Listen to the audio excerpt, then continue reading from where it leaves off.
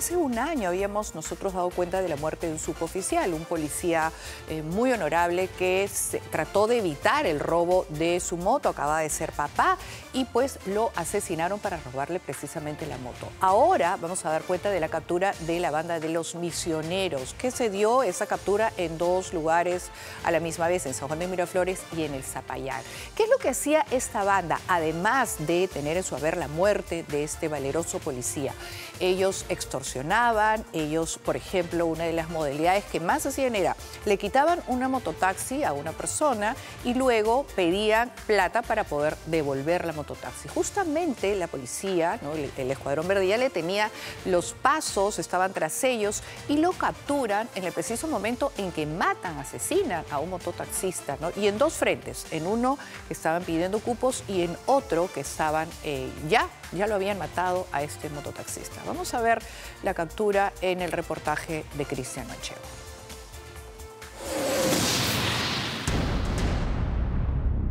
Mañana no quiero ver ninguna de esas motos ahí. No voy a quitarle las motos, sino que voy a mandar cuatro misioneros para allá fusilados y le voy a entrar plomo a todito. Son una cofradía maldita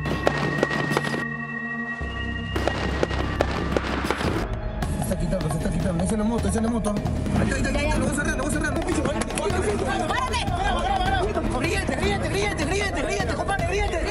mayo del año pasado, asaltaron y asesinaron a sangre fría a un valeroso miembro del grupo Terna.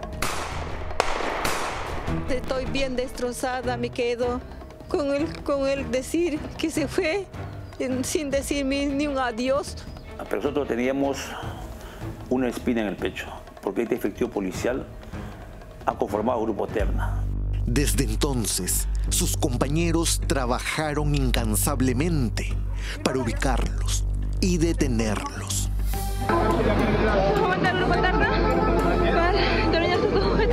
A los dos se arma de fuego que iban a bordo de esta motocicleta.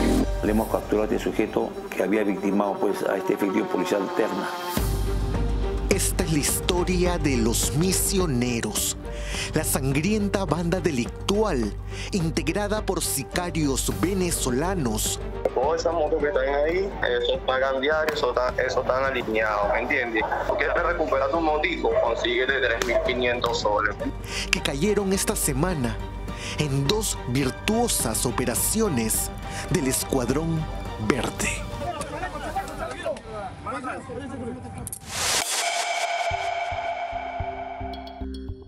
Cristian Olascuaga tenía 26 años, era miembro del grupo Terna.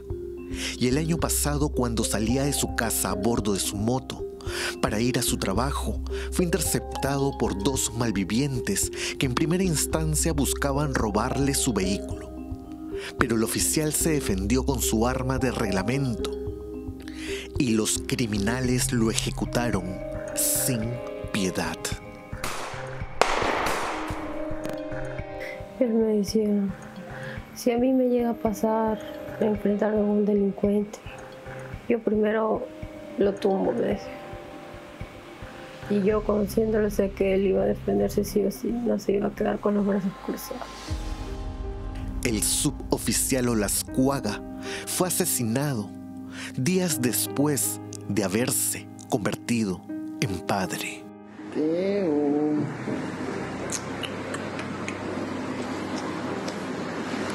Último mensaje fue decirme, literal su último mensaje fue, amor, extraño, extraño a mi teito, ya quiero tenerlo en mis brazos. Y eso fue minutos antes de lo que pasó.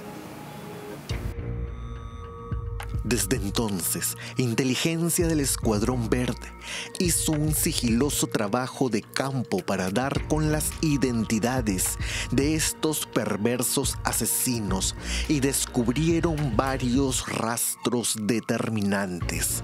La base de operaciones estaba situada en San Juan de Miraflores el 100% de la organización era integrada por venezolanos y en la actualidad los misioneros se dedicaban a extorsionar a mototaxistas de Lima Sur y Lima Norte. Llevando a cabo una serie de asesinatos especialmente a mototaxistas. ¿Por qué? Porque estas bandas criminales para ellos es apetitoso los parados informales. Hay una gran cantidad de parados informales, especialmente mototaxistas, y a cada uno lo extorsiona, les cobra. Entonces no solamente es en el sur, también es en el norte, en la, en la zona este. La siguiente voz que escuchará le pertenece al jefe del brazo armado de los misioneros, un hombre al cual le tienen terror, como si se tratara del mismísimo demonio. Escúchame la vuelta, mi viejo, para no darte más rodeo ni nada. La vuelta es así, mira, ve. Mañana no quiero ver ninguna de esas motos ahí, porque te voy a hablar claro. No voy a quitarle las motos, sino que voy a mandar cuatro misioneros para allá fusilados y le voy a entrar plomo a todito. Así mismo, ¿le quedó claro? Y a los que no acceden, como él mismo indica el delincuente, el sacristán, te voy a mandar a los misioneros, así te voy a mandar a los sicarios. ¿Para qué? Para que te asesinen. Y eso se ha dado en los últimos días, varios asesinatos de mototaxistas que no acceden a la extorsión. Este mototaxista fue asaltado esta semana. A este pobre hombre le quitaron su herramienta de trabajo. Porque la vuelta es así, mi viejo. Todas esas motos que están ahí ustedes creen que esos pagan, esos pagan diario, esos están, están alineados, ¿me entiendes? Ahí la vuelta es así. Tú quieres recuperar tu motico, consigue de 3.500 soles. Operaba en un paradero donde los misioneros cobraban cupo. Yo tu moto no la necesito ni me hace falta, ¿me entiendes? No estoy pendiente ni de, ni de quemártela ni nada.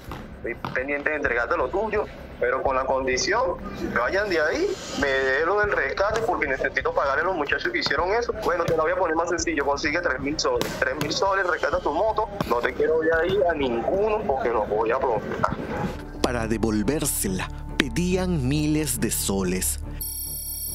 Pero lo que no se imaginaron los misioneros es que el grupo Terna los tenía en la mira. El pago de la extorsión se iba a producir en este puesto de pollo broster. Sin embargo, esta era una maniobra táctica de la policía.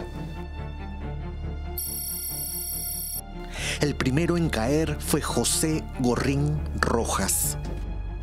El segundo misionero fue perseguido varias cuadras. Lo voy a cerrar, lo voy a cerrar, ya. Ahí está, ahí está, ahí está. Escúchame, escúchame quitando, se está quitando. Esa es la moto, esa es la moto. Ya, es la moto, esa es la moto. Apunta la placa, apunta la placa. Adelante, adelante, sigue, sigue, adelante, adelante. Puta, me voy a chocar, me voy a chocar. Ahí está, ahí está, ahí está, lo voy a cerrar, lo voy a cerrar, lo voy a cerrar. Hasta que por fin fue atrapado José Chávez González. ¡Párate! ¡Policía, policía, policía! ¡No te eterna, eterna, eterna! Bueno, no tiene mierda. Gríete, gríete, gríete, gríete, gríete. Gríete, gríete, gríete, gríete, gríete, compadre, gríete. Tranquilo, tranquilo. En este momento vamos a está capturando a dos sujetos. a un sujeto. Mano atrás, mano atrás, mano atrás. Tranquilo. Mano atrás. Mano atrás. Ya, carajo, ya perdieron, tranquilo. Chaleco, chaleco. Al suelo, al suelo, al suelo. Vamos, te siento, te siento, te En este momento está realizando la captura de dos venezolanos, ¿ya? Lo mismo que estaban extorsionando a un señor al cual le habían asaltado a mano armada, robándole su vehículo mototaxi. Firma acá, ¿ya? ¿Cuál es tu nombre? Dime, ¿cuál es tu nombre? José. ¿José qué más? José Esteban. Párate. José Esteban, ¿qué más? José Esteban Gorrín. ¿Ya? ¿Por qué lo llamas? Te pregunto por qué lo llamas. Mira la cámara, ¿por qué lo llamas? ¿Cuándo robó la moto, Ile? ¿Ah? ¿Cuándo robó la moto? ¿Por qué lo llamas? Maestro, porque me quería comunicar con él. ¿Por qué? Pues, ¿Por qué? Porque justo te comunicas con él, hay un señor que le roban la moto, le dicen que le van a entregar en el grifo la plata por la moto. Yo le estoy diciendo que es un malentendido. Y un malentendido. O sea, todo coincide contigo. Con el malentendido coincide que tú estás en el grifo. Y le llaman al señor y le dicen que le entregue la plata a uno de una moto. Después tú estás acá y lo sigues a la moto, lo estás coleando a la moto. Colear es seguir, lo sigues a la moto. Sí coincidencia que la moto del señor robada aparece ahí y ahí le dijeron que entregue la plata. ¿Quién? Él, porque cuando subí él estaba conversando contigo. La llamada se va a hacer el levantamiento del secreto de la comunicación, ¿entiendes? Esta captura permitió jalar el hilo de la madeja a la organización y es así como dos días después, dos integrantes de los misioneros cayeron en el Zapayal luego de asesinar a sangre fría a otro mototaxista que se rehusó a pagar cupo.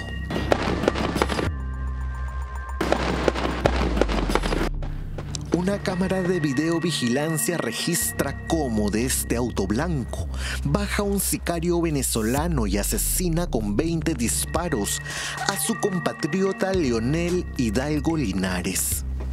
Una ciudadana llama al ver el asesinato, llama a 105 aplicando el plan cerco y el grupo Terna lo captura momentos después a 10 cuadras del lugar cuando se está dando la fuga y se hace uso del arma de fuego a la voz de alto no paraban y dice que sí, que colisionan en esa fuga y son capturados dos sujetos sicarios. En el registro se les incautó el arma que utilizaron para acabar con la vida de su compatriota. Y esta arma es la que le robaron al policía Cristian Olascuaga. ¿Quién es esa persona a la que han asesinado? Es venezolano, no es Corea de la vida. ¿Ah? Es un venezolano, no es Corea. ¿Por qué lo han matado? Por violación. Ha violado a mi sobrina. ¿Él ha violado a tu sobrina? Aquí en Perú, ¿Cuánto sí. le ha pagado? No, no me ha pagado nada. Los sumos de, de caballero, nadie me ha pagado. Después de matarlo, ¿a dónde se fueron? ¿Por dónde fugaron? En, en la Panamericana. ¿Ese vehículo blanco? ¿El vehículo blanco? un taxi, man. Era un taxi. Yo me O sea, tú llegaste en un taxi y la moto te iba a sacar de, de la cancha. Yo me bajé ese taxi con toda seguridad. Las versiones que dan los zampones serían falsas, y es que el verdadero motivo del ataque sería el cobro de cupos a paraderos de mototaxis. ¿Ya? Mano, es que, es que ¿Ese eres tú? No, mano. No, el que maneja la de la moto. No, yo, yo no tengo ni, no ¿Ah? me encontré ni un arma, nada. No, tranquilo. Dime, ¿eres de la moto o no eres de la moto? Sí, el de la moto, jefe. Ya, por eso pues te estoy diciendo, tú eres de la moto, el que maneja. Escúchame, te voy a volver a hacer la pregunta. Ya, déjate de idioteces. Acá no vas a venir acá a querer pasear a la policía peruana. No, tranquilo, patrón. ¿Cuál de esos dos eres tú? El de la moto, jefe. ¿El que maneja a esa persona a la que han matado? No, no lo conozco, patrón. ¿No lo conoces? ¿Cuánto les han pagado por matarlo? No, tampoco a mí me han pagado para matarlo, jefe. ¿Qué hacías tú con esa arma de fuego? Vengo de visitar a mi familia. Ven- ¿Vienes de visitar? Y el chofer venía duro y nos estrellamos. Ya. ¿Y tú tienes licencia para portar arma? No, maestro. ¿Y entonces qué haces con esa arma de fuego que le pertenece a un policía al que han matado? Ah, bueno, esa la he comprado yo. ¿La has comprado? Sí. ¿Cuánto, ¿A cuánto has comprado esa arma de fuego? Cuatro mil. Pero Cuatro- si le pertenece a un policía, bueno, tiene que haber investigación. Luego de un año se pudo detener al fin a los asesinos del policía Olascuaga. Ojalá que estos cuatro malditos misioneros sean condenados ejemplarmente.